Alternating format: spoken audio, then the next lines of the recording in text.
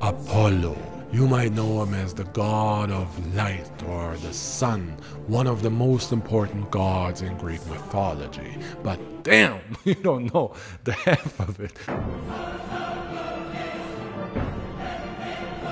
Apollo killed three of his female lovers. Yeah, Apollo killed his male lover by accident. Apollo lost two of his sons. He defied the supreme god Zeus and lived to tell the tale. And listen, my man Apollo flayed another man alive. That means he peeled another man's skin off while that man was alive. Do you get me? And Apollo also murdered a pregnant woman. Yeah, this baby faced beautiful god, Apollo was a problem. And don't give me the excuse of, oh, Hera tried to kill him when he was a baby. Bro, half of Greek mythology was almost killed as a baby. The fact is that the god of light, Apollo, had such a dark side that even his dark side was like, damn, bro, you dark as hell. we'll explore this dark side of Apollo, so let's do this.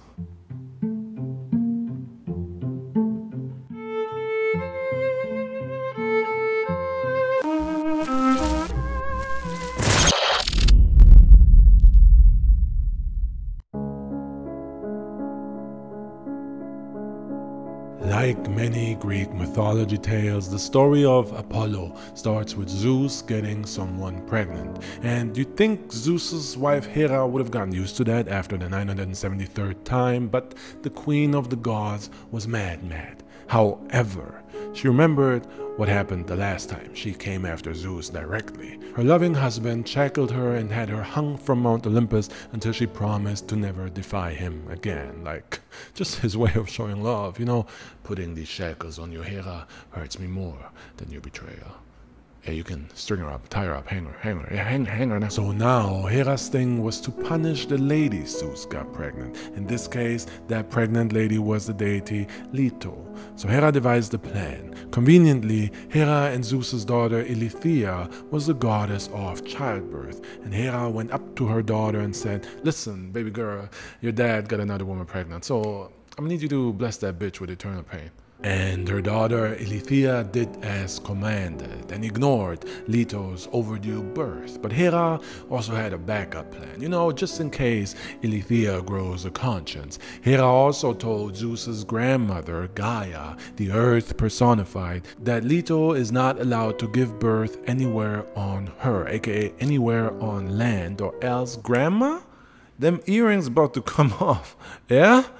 Hera had everyone scared, so Leto was screwed, pregnant, overdue, wandering the lands, fighting Hera's curse for nine nights and nine days until Zeus intervened. First, he just told his daughter Eileithyia to cut the crap or she's grounded, and then he invoked the bro code from his brother Poseidon. Bro, I messed up, man. I got someone pregnant. Bro, again, man? Yeah, man. Was it consensual? I don't remember. Yeah, I don't even know why I was asking. Who cares? What do you need, bro? Zeus told his brother about Hera's deal with Gaia and asked Poseidon to make an island float with a stream of water and storms so that it was technically not attached to the earth. You see where he's going with this? It would be free of Hera's curse. So Poseidon made the island of Delos float and now Leto could finally give birth to her children, Artemis and her twin Apollo.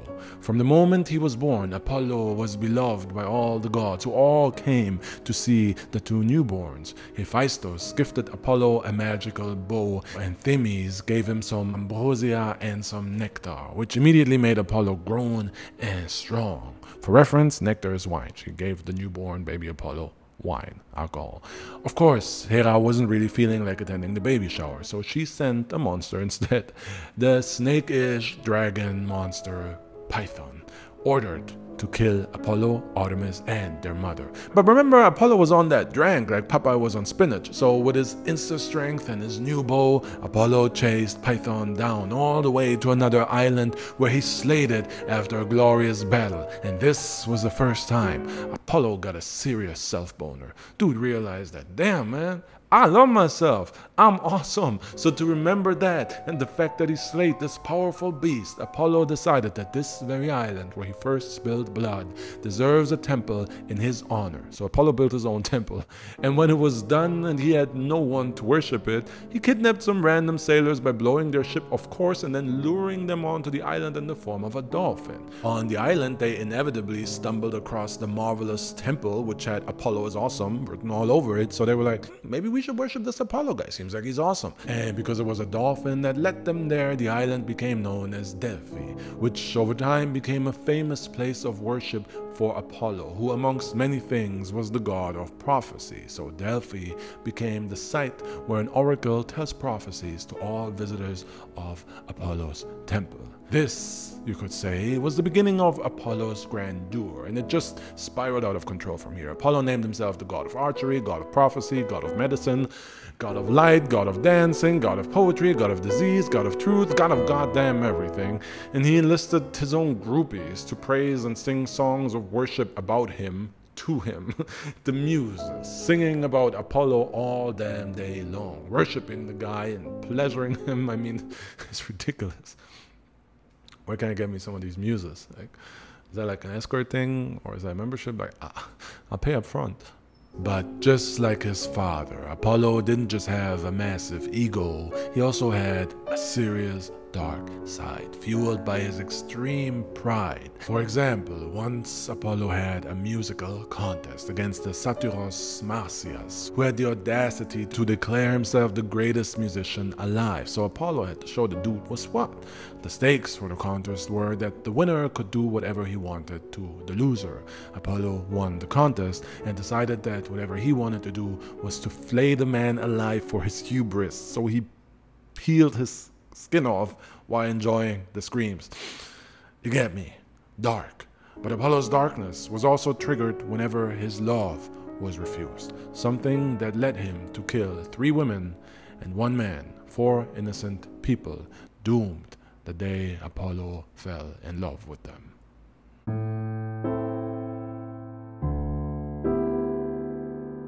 Apollo was bored by his muses. Sure, they worshipped him, but they constantly wanted him to play the lyre. So Apollo asked him, if I didn't play music, would you still love me?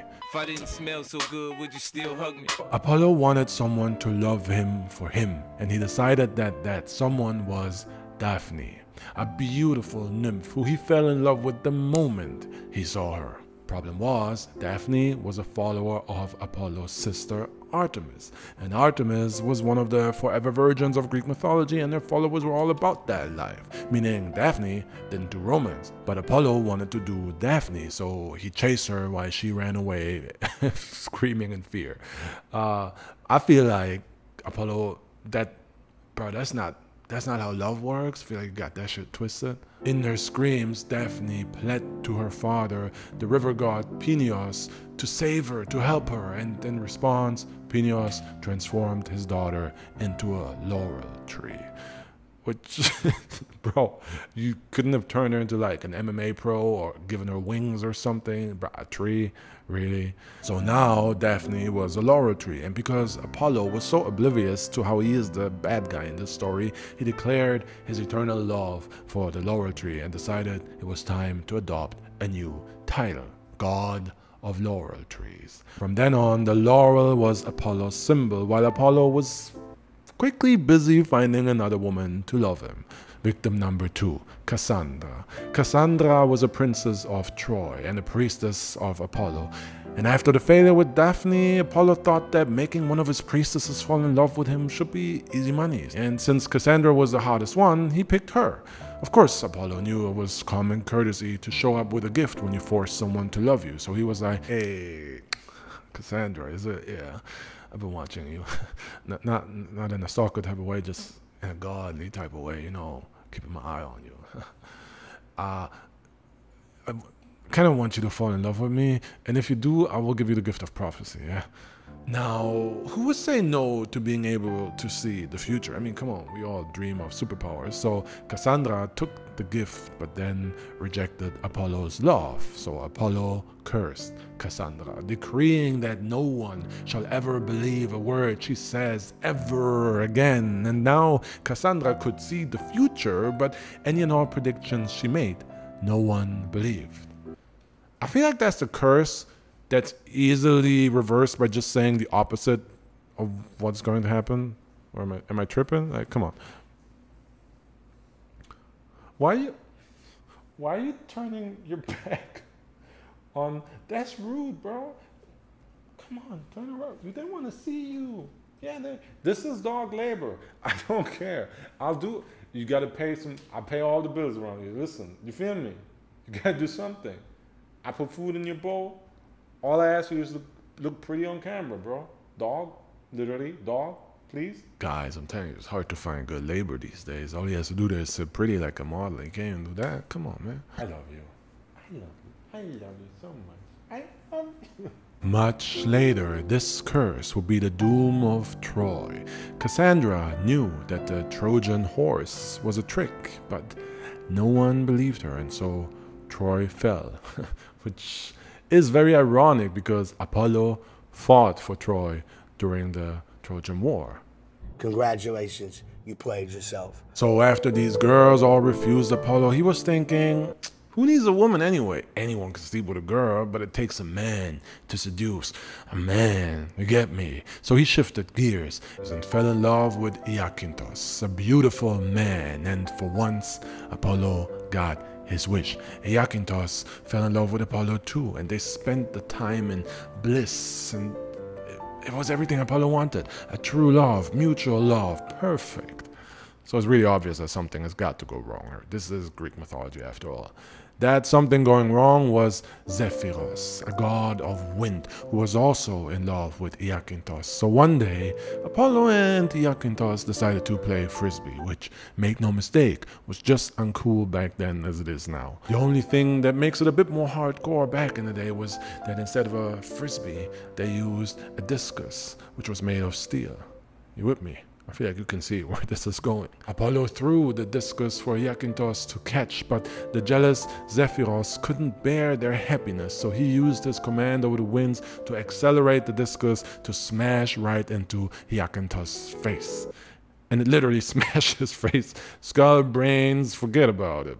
Boy was dead on the spot, dead, unrecognizable dead, like bringing the dental records dead, you get me? And all Apollo could do was cradle his dead lover in his arms and cry, with the only solace being the flowers that bloomed from Iakynthos' blood, which are still known by his name, the hyacinth flowers. So Apollo shifted gears again. Uh, let's try another woman, you know, another princess. Coronis. Apollo went after Coronis and they fell in love, actually love, and before long Coronis was even pregnant. All seemed well, until Apollo saw Coronis sleep with another dude while she was pregnant with his child. I love this story. Apollo was furious, so he called his sister Artemis to kill the pregnant Coronis. Yeah, I know you don't know if it's funny because he called his sister, or if it's sad because you know they killed a pregnant woman. Apollo then burned the body, but had the decency to cut out the son before it was burned to a crisp, which is now not some kind of good father born out of tragedy plot twist. Nah, Apollo stayed true to his selfish ways and gave his child away to someone else to raise it.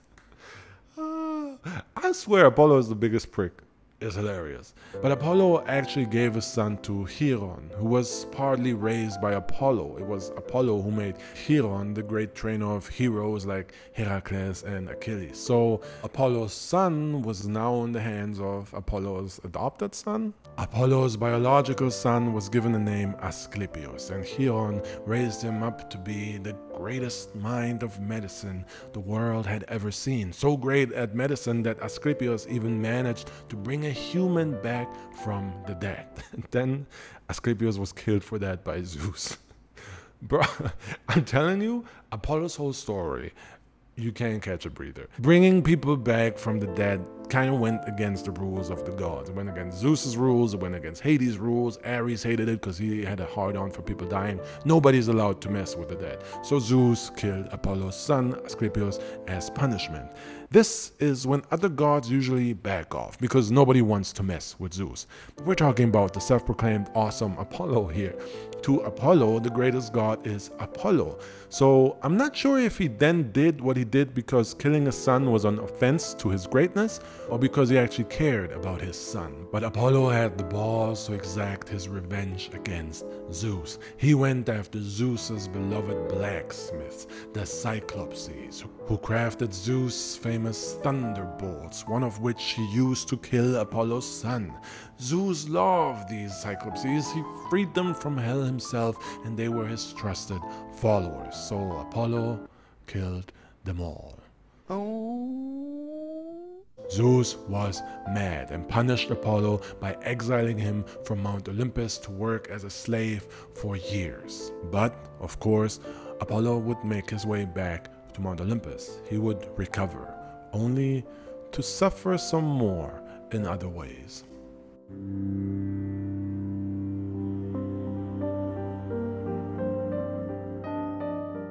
Apollo didn't actually spend all day just being worshipped and playing music. He also had a job. He had to drive the sun around the sky, which, depending on the source, this is kind of confusing because if you read one text, it's Helios driving the sun around the sky. If you read another, it's Apollo. But it's generally accepted that from the 3rd century BC onwards, Apollo drove the sun around the sky. More on that later in the extra notes. We'll stick to Apollo for now. So he was driving the sun around the sky like a newspaper route every morning. In the world of the mortals, everybody knew Apollo was the sun and everybody worshipped him as such. In fact, Apollo could be argued to be one of the most worshipped gods in ancient Greece and ancient Rome. And like any other god with that many groupies, Apollo had a bunch of children with a bunch of mortal women. And one of them, Phaethon, admired his father like crazy and loved to brag about his godly father. And now, some demigods do this and are admired for it, while others are looked at as losers who are just lying about their dad. The young Phaethon was the latter. Whenever he told his peers that his father was Apollo, the sun god, the great one, no one believed him. To them, Phaethon was just this nerd trying to be popular by lying about his father, and really his mother is just another woman that was knocked up and abandoned by some idiot. Phaethon was pissed and determined to prove his bullies wrong. He told them he would ride his father's sun chariot and they would see him in the sky driving the sun. So he went to his father and guilt tripped him. He cried about how Apollo abandoned him, left his mom to raise him all alone, grew up to be bullied, blah blah blah blah blah. All he wanted was a father, you know? So feeling guilty and to calm his son down, Apollo said that Phaethon could ask for anything, and Apollo promised that he would grant him one wish. and so Phaethon asked to ride Apollo's chariot, drawn by four powerful stallions, and Apollo knew that the young Phaethon stood no chance at controlling these wild stallions, but as a god, he can't go back on his promise, especially not the proud Apollo. So Apollo gave the boy a basic tutorial and told him that the horses ride this route every day, so really, you know, just sit there, don't touch the reins, don't do anything, you'll be fine. Don't touch the reins. you know what's gonna happen, right? The boy didn't listen. Phaeton took off in that chariot, all proud, and wanted to get closer to Earth, lower, you know, so that the boys can see him riding the sun chariot. So he took the horses closer to Earth, but he took the sun way too low, and it burned the Earth, scorching it forever. Then Phaeton panicked, yanked the reins up, and the sun went way too high, causing the world to freeze over. And this is how we got the Sahara, the Arctic, and the Antarctica. Man, I love these little facts. That's why I love mythology. Phaeton was completely out of control, as were the horses. They were panicking. So, before the sun caused any more damage, Zeus shot Phaeton out of the sky, and the boy fell to his death. I don't know why I'm laughing. It's just such a Zeus thing to do. Apollo's life is just From that day on, Apollo couldn't stand the sight of the chariot and its wild horses anymore and passed the duties of the sun on to the Titan Helios forever. That's okay though, because Apollo was still the god of music, art, dance, archery, healing, disease. You remember, right?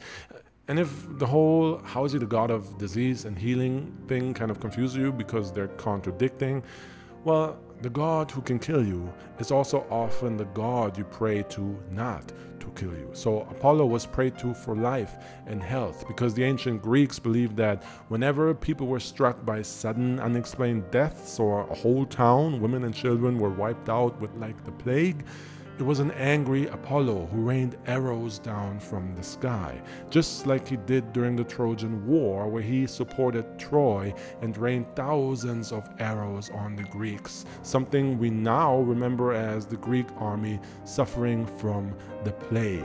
And speaking of the Trojan War, Apollo also had another important part to play here, actually several parts. He was the one who guided the arrow of Paris into the heel of Achilles. But I'm going off topic because, you know, the Trojan War, that's a video for another day. Time for the extra notes. As I mentioned, it's majorly confusing who the sun god actually is because there's a titan Hyperion who is the heavenly light, and Hyperion is the father of Helios who is the sun. But then there is Apollo who is light, so that includes the sunlight and its warmth. Over the centuries, both Apollo and Helios were the sun god, but you could say that from the 3rd century BCE, it was mostly just Apollo. That's the short version to simplify this, but it's absolutely viable to say that Helios is the sun god and that Phaethon is the son of Helios, and the whole story I just told you above remains the same, just swap out Apollo with Helios as the dad. The whole story of Daphne and Apollo also has a version where Cupid makes Apollo fall in love with Daphne with one of his arrows because arrogant Apollo said, Cupid is not a real archer. What even is this with your silly love arrows? The problem here is that Cupid is the Roman name for Eros, so this tale is a Roman tale, which is why I left Cupid out of the OG Greek mythology version that I just told you. And while we're on the topic of varying versions, remember the musical contest between Marsyas and Apollo. Yeah, Marsyas was a satyros, and notably, Apollo also has a famous musical contest with another goat dude, the god Pan. Is that the same myth, just different versions? Could be interpreted that way, but Pan's version is a bit different and also features King Midas, and I'll probably cover that in its own video. Lastly, there are some things I left out even though they're really cool, but I feel like they hurt the flow. When Apollo discovers Coronis was cheating on him, it was a white bird that snitched and told Apollo, and Apollo then let his anger out on the messenger, which turned the bird black, which is why we now have crows. I like that, it's pretty cool. There are also more stories of Apollo slaughtering innocent people, but I'll save these for my Artemis video because his sister was also involved in some of them and in general Artemis and Apollo's tales overlap a lot so Apollo will feature heavily in the Artemis video. And I also feel like I already gave enough proof of Apollo being evil. Him slaughtering innocent children, that would just be the icing on the cake. But you'll see in my Artemis video. And another heavy omission in this video is Apollo's son Orpheus, who had a pretty epic adventure of his own, but the story of Orpheus and his wife Eurydice will also be a video of its own. And you probably already know, but I upload these videos twice a week. And if you enjoyed this one and you want to see more, make sure you subscribe, ring that bell so you don't miss out on my uploads, and leave a comment. And maybe I'll see you here twice a week on all of my uploads, leaving comments, chatting with you in the comment section. That'll be nice. See you in the next one, yeah? All right? All right.